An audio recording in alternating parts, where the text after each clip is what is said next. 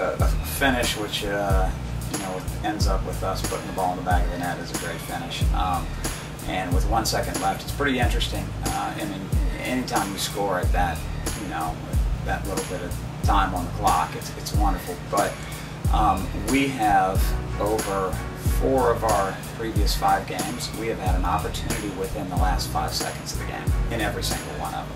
And it's been one of those where it's just off somebody's head or a diving header or something that just goes wide.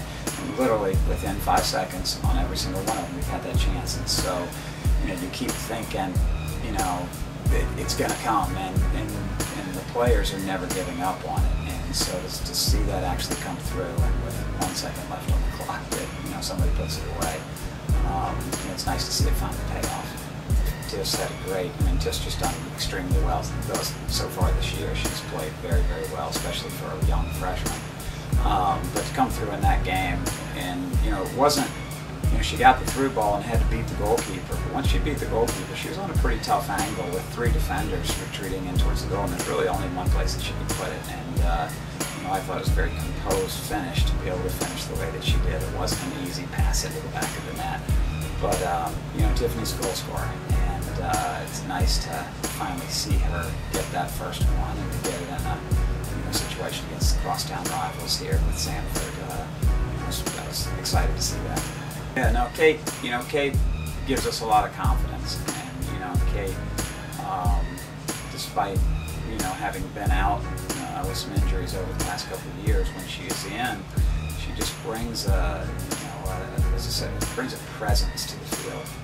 Kate just has such a strong presence about her that, um, you know, you feel good. You know that when somebody gets a half chance, there's a good chance that she's going to stop it. So when other teams are coming in, um, they're going to have to work pretty hard to put the ball in the back of the net. And so Kate, Kate does a nice job of uh, giving us that presence back there, and uh, it's good, good to have her. Starting to get more and more opportunities. I mean, right into the beginning of the Samford game, I'm literally, 10 seconds into the match, we had a great combination up front, Cross and uh, Laura McCallum missed just wide. Um, I think what's starting to happen now is our forwards, uh, Laura McCallum, Tiffini Turpin, and Daniel Barcelona, those three in particular, have produced quite a number of uh, shots over the last few games, and they've been the people that suddenly, you know, are getting those opportunities and starting to put them away. And it's uh, something that's been missing. If you went through before, you might see, you know, that there were a couple games back where we said, okay, between our front runners, we had three shots, you know, across the game. Now, other people were getting shots, but our forwards were not and uh, that changed significantly. I think Dania had 11 shots on the weekend, um, seven or eight of those on goal. Uh, Tiffini was not far behind that. Mark McCallum was not far behind that. So you're starting to see the majority of the shot production come from our forwards. And, you know, that's a good thing, especially when we're starting to put them back in that spot.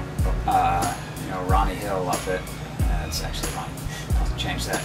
Ronnie, I'll just say Ronnie up at Vanderbilt uh, has just run a great program. They've got a, a wonderful tradition at, at uh, Vanderbilt of being one of the top teams in the SEC, and that you know across the years one of the top teams in the country. So uh, this year they're having a very very good year, and uh, you know it's always exciting to go up there. They have a great environment uh, uh, to play in, and you know to get up there and have another chance at a, at a top team. I mean you know, we've been going along. It's you know every every team we've played has been a very good team, including Wright State and Samford, and that's why it was nice to get the wins this weekend. But uh, you know, it's just another in the long road of uh, quality non-conference teams, and so we're just hoping that we can continue what we're doing and have a good show.